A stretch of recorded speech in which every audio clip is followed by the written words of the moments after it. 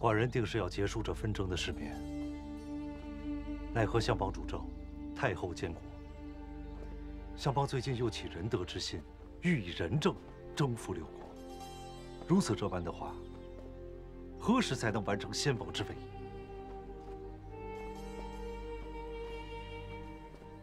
仁政并非不可取，然此大征之事，还是法家有利于富国强兵。秦自孝公变法至今百二十年，一举称霸七国，便是明证。秦之法治，自孝公与商勋时。斯虽师从荀子，然精研法家，法术是三学。李斯愿以毕生所学，倾力辅佐大王，助大王兼并六国，一统天下。有朝一日，若寡人一统天下，该如何治国，才不会像周朝一样，诸侯争霸，列国纷争，使天下百姓不再陷于战火之中，使我大秦可以万世永固，生生不息？李斯正有一策。说。废分封，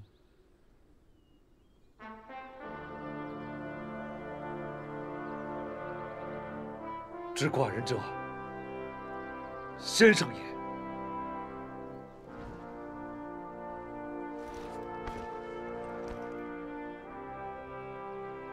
先生可愿助寡人，见者不朽伟业？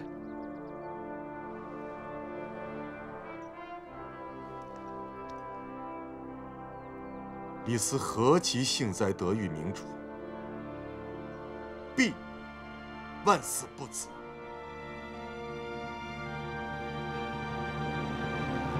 因秦赵盟好，致使燕国不得不独自对抗强大的赵军。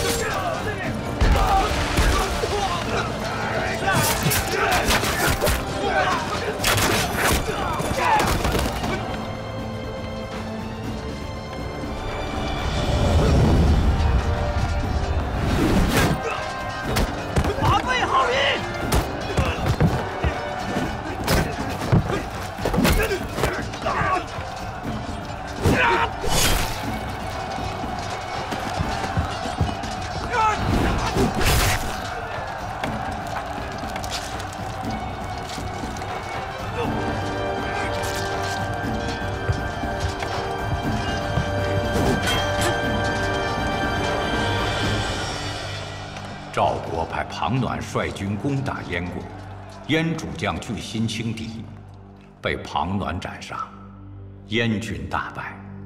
赵军夺燕国上古三十六县，并送了其中的十一县与秦国，由此秦燕不睦。甘罗觐见，拜见大王。甘罗使诏归来。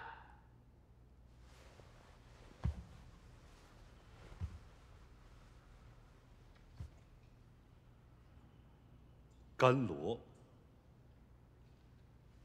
好啊！不费一兵一卒，为我大秦取得了数座城池。好啊！谢大王。相邦慧眼识人，方有此次甘罗立功之机。甘罗所作所为，皆是相邦所想，而相邦所想，必是大王所愿。相邦此次还要封我为上卿。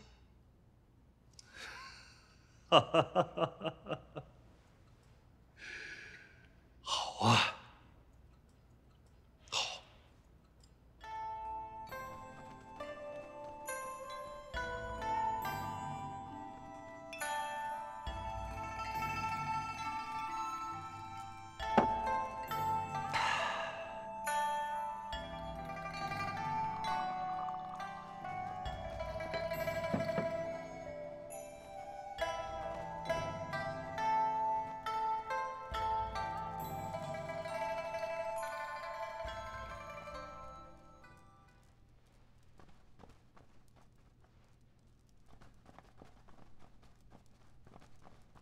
诸臣，此番我赵国大败燕国，得了三十六个县，是不是历代先王的庇佑啊？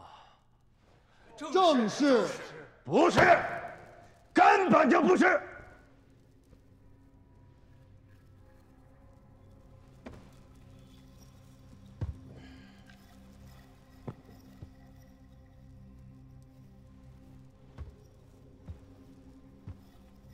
是寡人，寡人的谋略，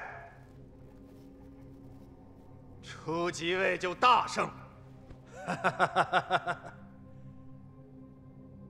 寡人以后要带领诸臣夺取天下，打秦国，灭燕国，以后赵国就是天下的霸主。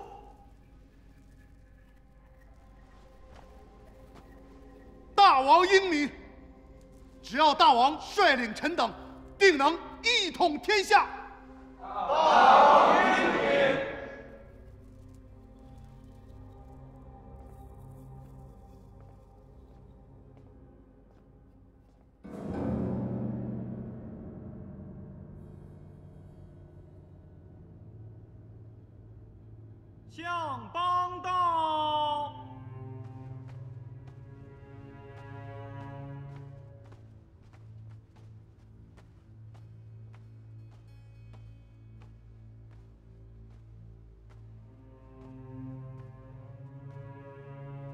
臣拜见大王。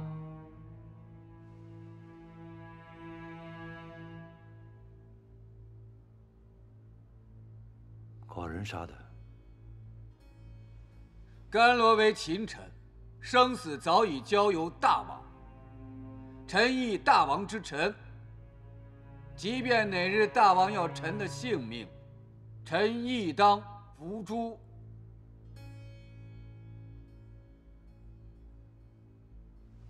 甘罗年少轻狂，臣管束无方，请大王恕罪。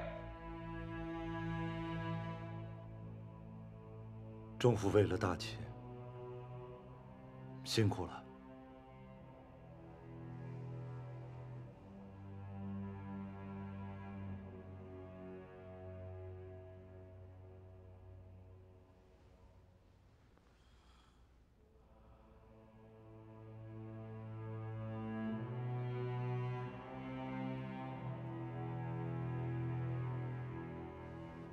传传李斯。诺。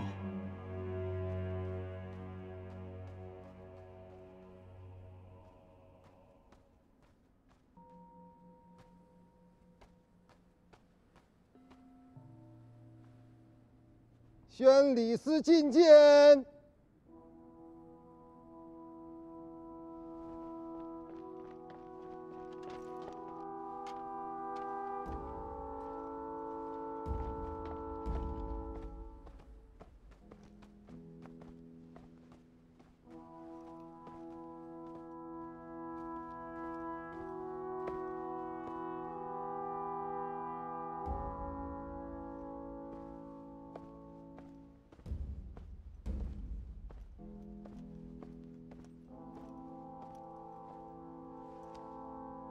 拜见大王。李斯，我把你安排在大王身边，就是希望你对大王有所教益。为何不及时劝阻大王？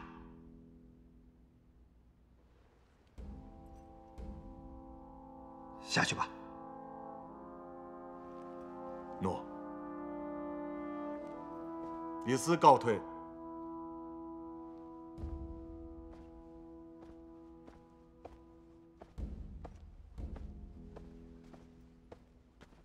大王觉得李斯如何？勉强堪用吧。臣请任命李斯为长史，不知大王是否允准？李斯刚到咸阳不久，便升为长史，政府以为是否妥帖？只要能为大秦出谋划策的人才，都不应拒绝。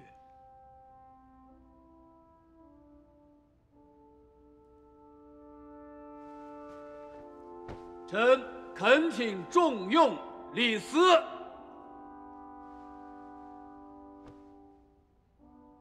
王召，李斯上前听诏。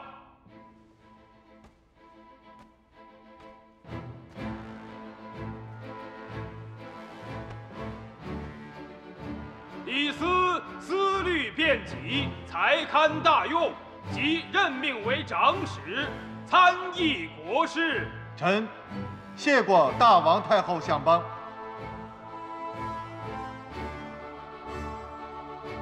李斯，你可要尽心为大王效力，莫要让本相失望。李斯定不负大王，不负相邦。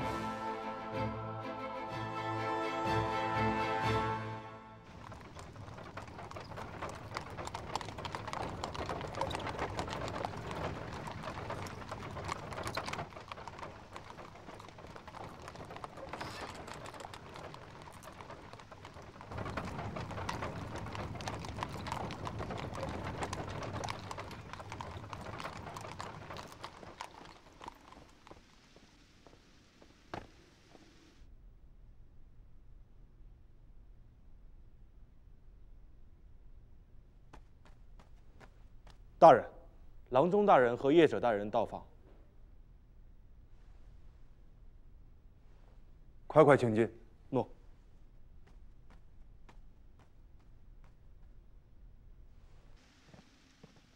有朋光临，不亦乐乎啊！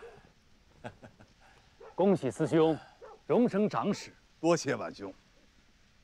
哎，我老樊，跟他不一样啊！啊，我是来蹭酒的。来来来来来，请，请，请。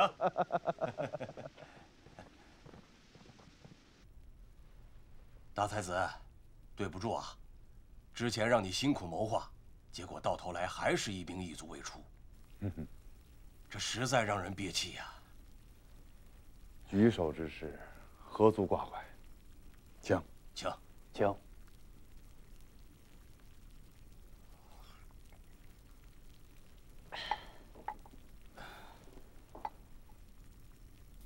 不过，二位在大王身边的时日，比我李斯要长得多。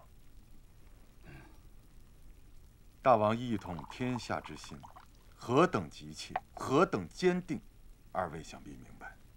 嗯，可目下，万事皆出自相府。大王纵有鲲鹏之志，奈何双翅被困得死死？师兄，不必忧虑。待大王亲政，相邦定会将决策之权交予大王。到那时，东出灭国，一统天下，为时不晚呐。哼，师兄何意啊？以我对相邦之了解，相邦是不会将权柄拱手相让的。哎，师兄，言过了。言过？你以为相邦著书立说是为何？为何？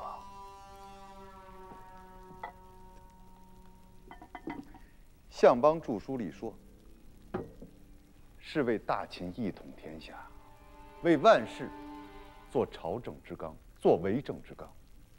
正所谓，纲举目张。相邦运用自己的为政之道，左右今上和后世代代秦王。所以，即便大王亲政，相邦亦不会让大王随心所欲的强灭六国。呃，那还有摄政太后啊。太后与大王自幼生死相依，亲情远胜于寻常母子。大王亲政，政权相交，太后定会助大王一臂之力。军国大事，太后向来不感兴趣，故而对相邦言听计从。子兄，不管怎么说，太后与相邦。一个是大王的母亲，一个是大王的重父。作为父母，总是为孩子好怎么了，太后？啊？我去请侍医去。不用请。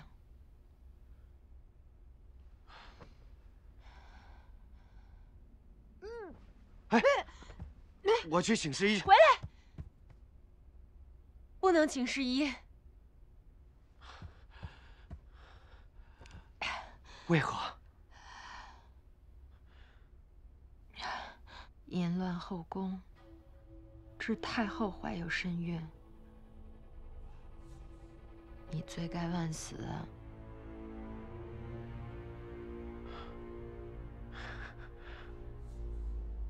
太后。我们有孩子了，啊！我们有孩子了。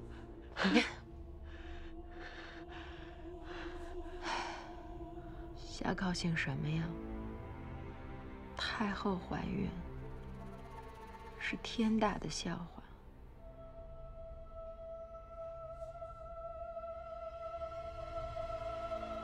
你不想活了？太后。小人想活，饶命啊！饶命啊！太后，太后，救救小人吧！这件事绝对不能让大王知道。嗯。这个孩子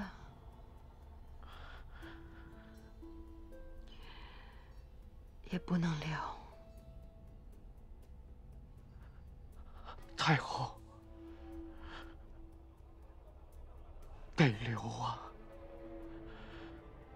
那是我们的孩子，留他你就得死。小人愿死，求求你了，太后。哎呀，别的不说，就我们大王这个脾气，就很独特呀。别看平日里待人甚是亲和，可一旦发怒。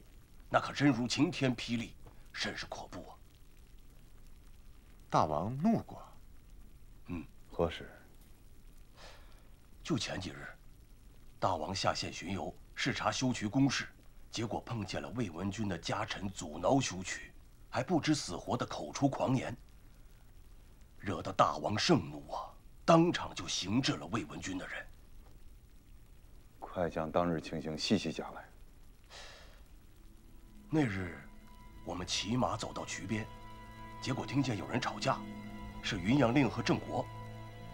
我们走过去，发现云阳令和郑国正与魏文君的家臣争执。魏文君家臣说，此是魏文君的封地，与大王无关，惹得大王盛怒，问我怎么办。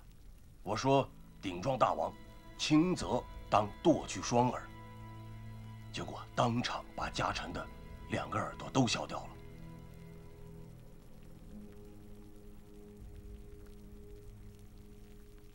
师兄，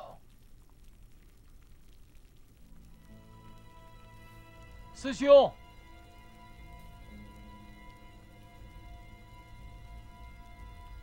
怕要出大事儿。能出什么大事啊？无外乎行至了一个家臣嘛。看似小事，实则触及国本。狂风巨浪，即在眼前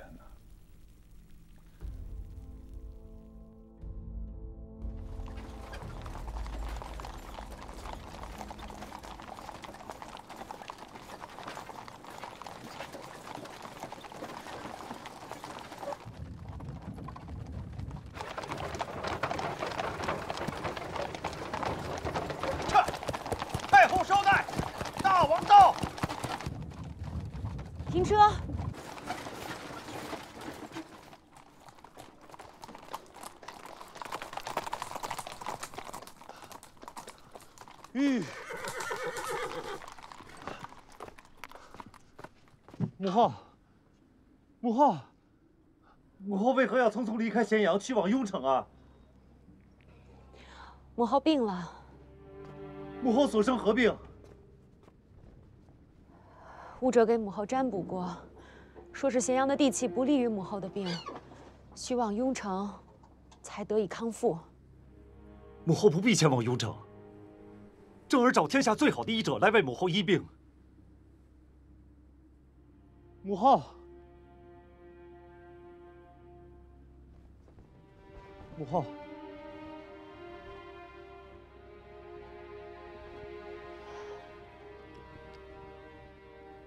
别担心，母后无大碍，就是有点头疼，有时候胸有点闷，一直没跟你说，怕你担心。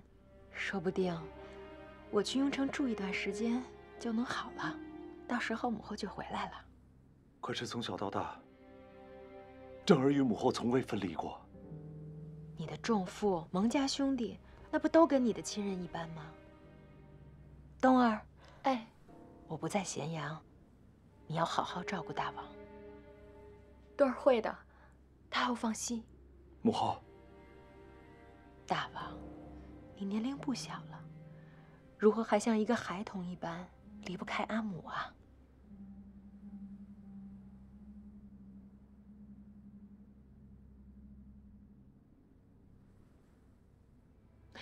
休要多言了，雍城的路尚远，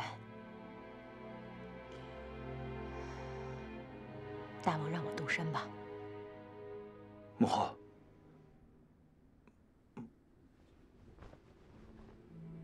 太后起驾。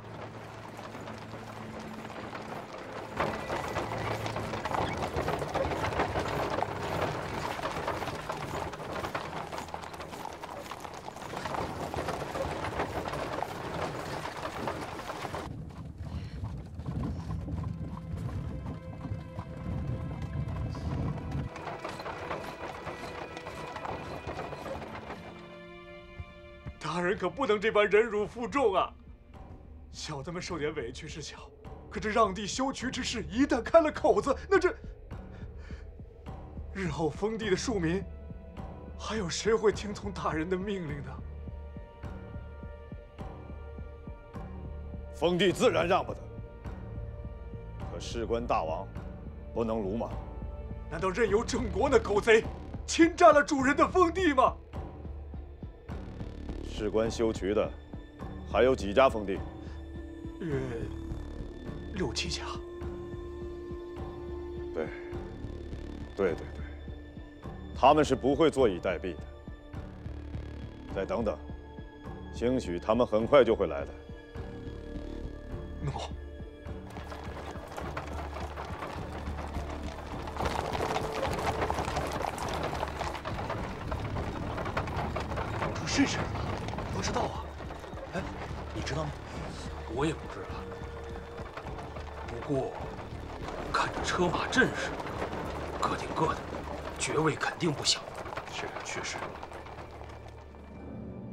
修渠乃是国策，渠成之后，关中八百里秦川，将是天下最肥之地。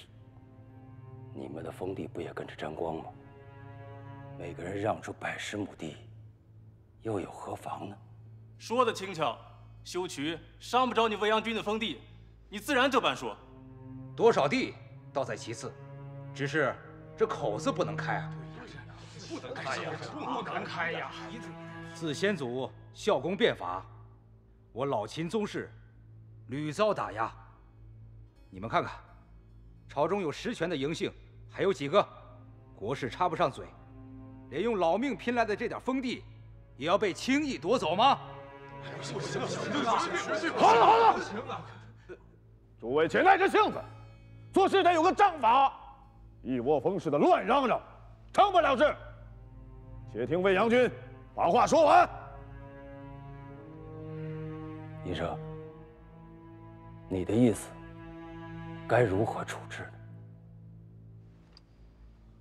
大哥，依我看呢，此事得由你出面，与相邦仔细商议，定出一个妥善的办法。魏文君带领宗室众人离开魏阳军府后，魏阳军车驾就去了相府，估计是代表宗室找相邦谈判去了。那相邦会如何处置？就为了一点蝇头小利，就串通一气，国策国法都不顾，还拉上四车助长。大王稍安，此事关键，就要看相邦站在哪一边了。刚才银溪所说的，相邦以为如何？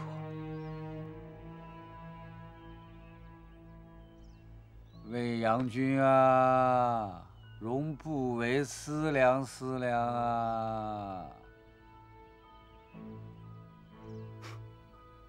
好。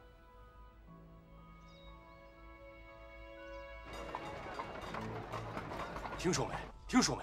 啊，大王和相邦要废分封，举国郡县了。听说了，各地封主都陆陆续续到了咸阳，眼下正四处奔走呢。怕不是相邦的意思。相邦在洛阳有十万户人众的封邑，他是大秦最大的封主。废分封，他能甘心？嗯，就是就是就是啊！哎，大王为亲政，便行至了魏文君的家臣，怕是要闯祸了。大王脾气硬正，倒是没有他不敢干的事儿。哼，难说，难说呀。这么多风主涌入，大王他能招架得住吗？切，大王招架个甚？右卫亲政，我看呐，难的是相邦，安置不好，两面得罪人。哼，自己的封地也悬呐。嗯，悬啊，悬呐，悬。郑业，你我来秦有多少时日了？整整十三载。十三载，相邦经历了多少惊涛骇浪？这次不过是几家宗室封主吵吵闹闹罢了，过几日自会消沉下去。我担心的不是他们，相邦是担心大王。衣不如新，人不如故，知我者莫若义也。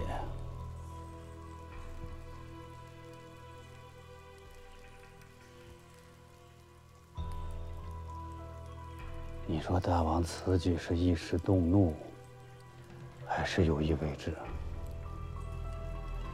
难道是对眼下郡县和封地同行之中另有想法？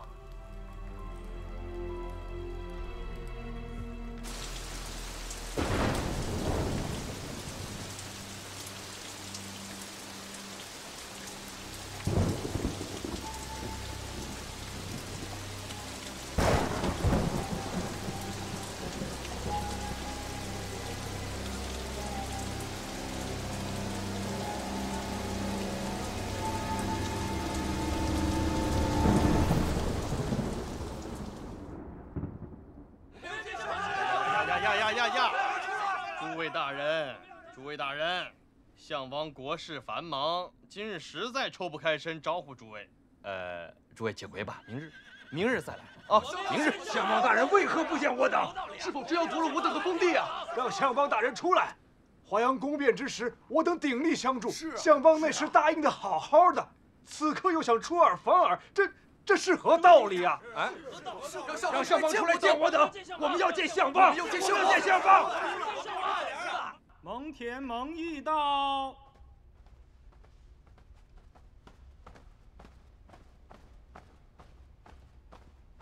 拜见大王，先生。外面有何情况？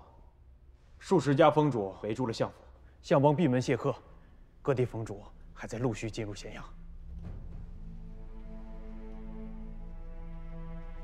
大王，臣愚见，此事关键症结在几家士社修渠的宗室封主，魏文君、重全君、魏北君、平阳君等人。他们表面上。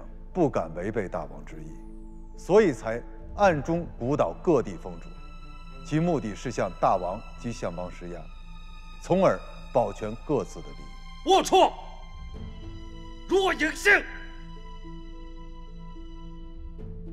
依臣看，此事既然是宗室挑头，那就必须压住宗室。只要他们不再闹，其他各地封主也就掀不起什么风了。如何压？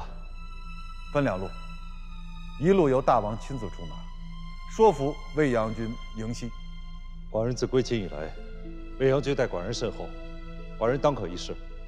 不错，魏阳君重情义，识大局，眼下乱世绝不是他想看到的。另一路呢？另一路，臣来走。以国府两倍之地换试射修渠之封地。魏文君以为如何？如此处置甚好，既全了我等的颜面，又让我等不受让地的损失。相邦厚爱，营生该何以为报啊？哎，三年前华阳宫变，宗室出手相助，本相还欠宗室一个人情。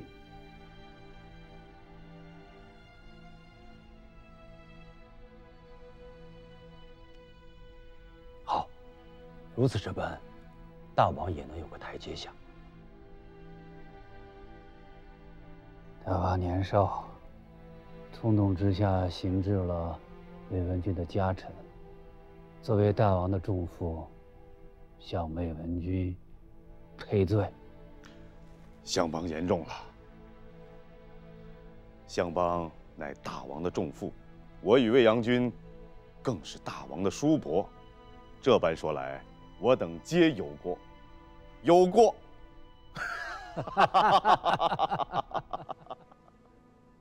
臣之处置，既可不误修渠公事，又能平息各君侯封主对大王的非议，可谓一举两得。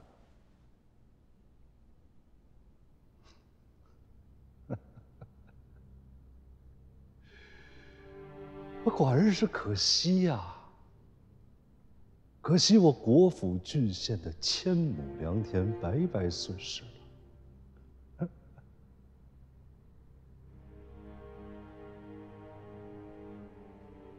大王，哦，我大秦土地乃七国最广，区区千亩土地。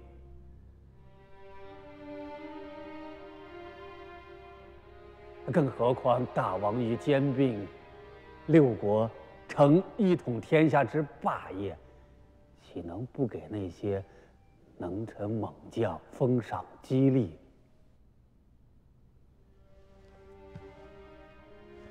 寡人请教中父，一统天下之后，该如何封赏有功之臣？当封天下之贤者。君明臣贤，共治天下，方能使社稷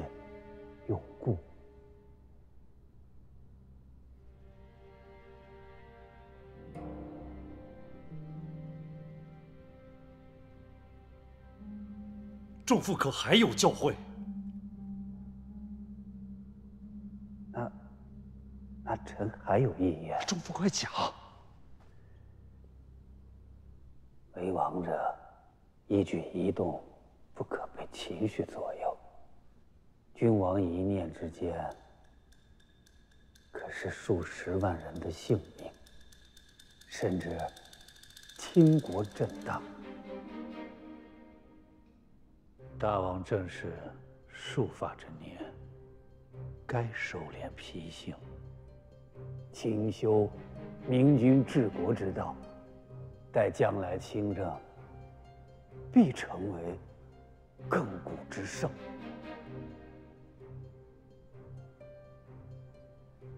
大王恕罪，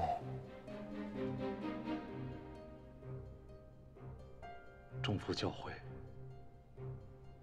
寡人知晓。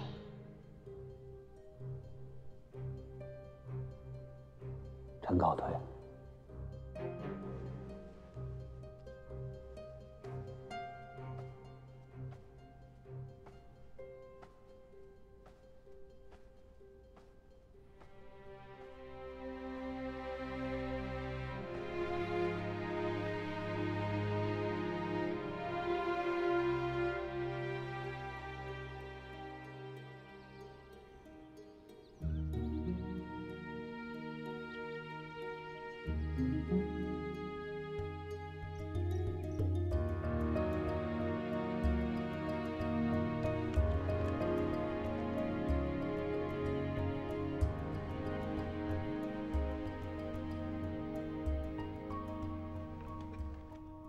寡人已向相邦提议了，准备着手你为御史，负责百官的奏章，还有监督百官。承蒙大王厚爱啊！别谢了，别谢了。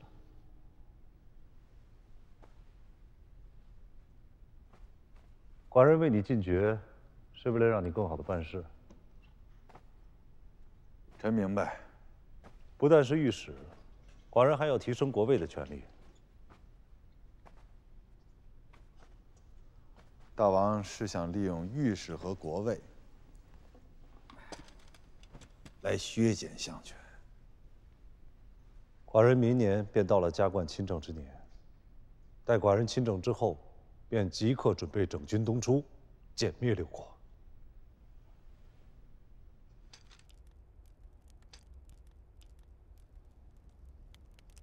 本相打算任命你为御史。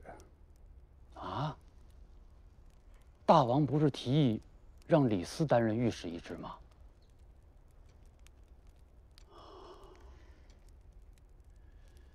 你这些年当业者，本相很是满意。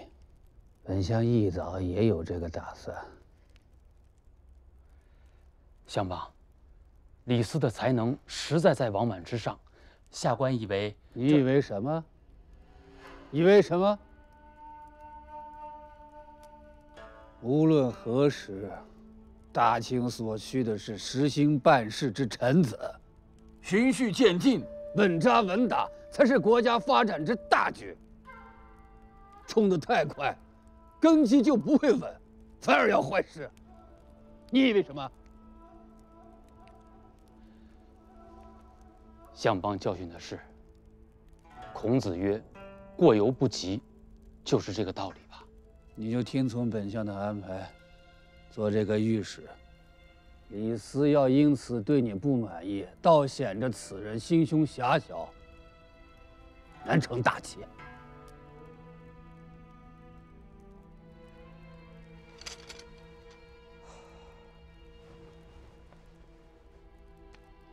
诺。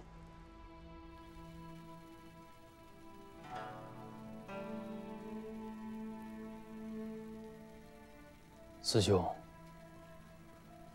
御史之事，哎。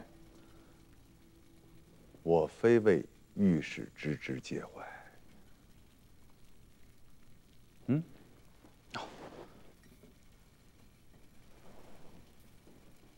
我是在想啊，大王的棋该如何下？棋，什么棋啊？